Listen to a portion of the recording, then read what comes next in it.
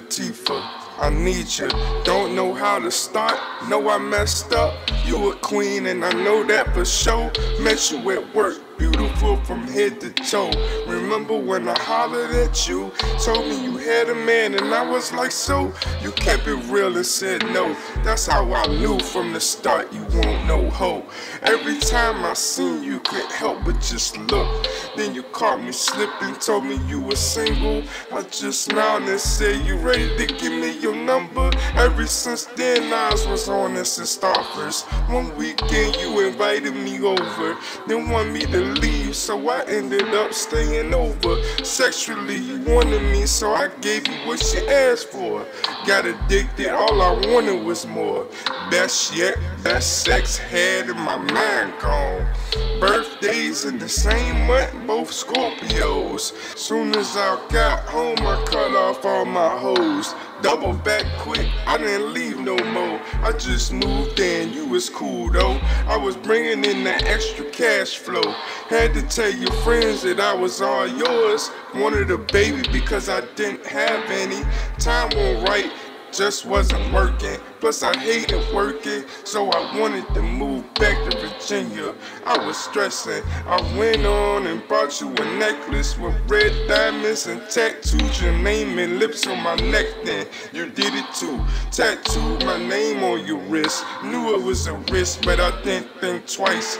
You my twin, nobody could come in between. Little did I know your sister was a pro and your friend was a hoe, but I didn't hit it though. You from Philly and real pretty, your mouth was ugly. Told you watch how you talk to me. Then your sister wanted to call the cops on me. No, that won't gon' fly. First day out, I came back around. Got me on my knees, begging you now. Tried to work it out, but I was finna be out. Wanted you to come with me, but you was stuck. In love with you in the streets too.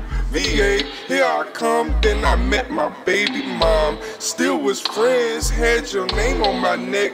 You had my respect, it would've worked out, but I wasn't ready yet. 21, full of cum, I was dumb. Wish I would've never let you go. Over the years, you was the only one I could talk to. Wanted to die, but you was the one that stopped it. I knew you still loved me. Told myself if there was ever another chance I was coming. You were single and be more, this was my opportunity. Shot my shot, even gave you the ring my wife didn't want. You were sad because you were supposed to be my wife. We was young, a lot older now, but my heart was like a puzzle. Thank you for putting it back together. P.S. I was just thinking, wish we would've just moved together to Virginia. I apologize for all that I put you through. Since you got married, I'm happy for you. Hope you get all that you want, and you deserve it too. Wish you the best, nothing less. To Tifa from Butter.